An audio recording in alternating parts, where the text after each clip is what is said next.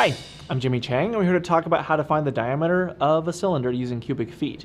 Now, whether it be cubic feet, inches, etc., because a cylinder uses cubic units all the time, it could be cubic feet or it could be some other uh, cubic measurement. Um, but in terms of finding the diameter of a cylinder, here's the process that you want to use.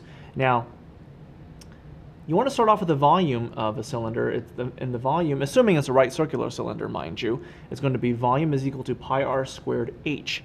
Now, your objective here is to find the radius first before finding the diameter. So what you want to do is solve for r. So in this particular case, go ahead and divide both sides by the non-r related term. So in this case, it would be pi h. So you have r squared is equal to v over pi h. Now, where you want to go from here is to solve for r. And to get rid of a square root, excuse me, to get rid of a square, take the square root of both sides.